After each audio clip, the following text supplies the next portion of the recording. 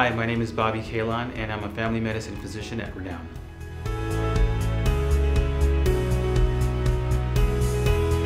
Well, I was a baseball player before I became a physician and I was drafted out of UC Berkeley by the Rangers. I played for the Rangers and the Braves. I got hurt, my shoulder, my pitching shoulder, and then the orthopedist came in there and told me the things I could do to rehab and come back. I felt a sense of hope.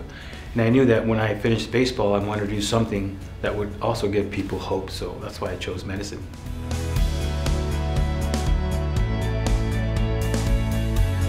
One of the reasons I chose family medicine is that you have a variety of different illnesses, and that's what I like. So the variety is what makes it challenging and rewarding at the same time.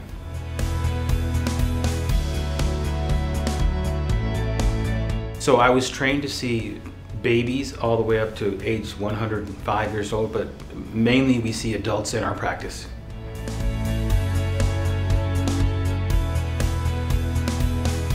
My patient care philosophy is that treat everyone as your family should be treated.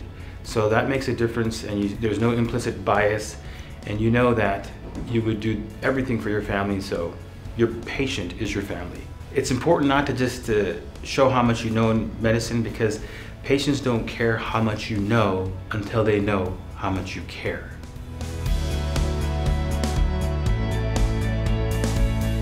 I believe that we are a piece of everyone we meet, every experience we have in life, and I get to meet so many different people in all aspects of life. And they're amazing, they're funny.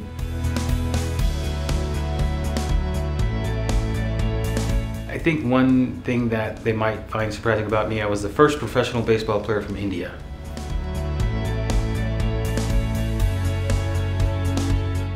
I still play baseball in the Reno Adult Baseball League playing against 20 year olds, hanging in there.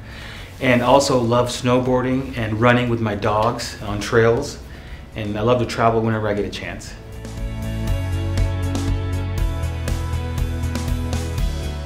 I love the fact that we have four distinct seasons. I love the snow. I didn't grow up in the snow. I grew up in California. And now I've learned how to snowboard. And I love fall, the spring here. It's beautiful.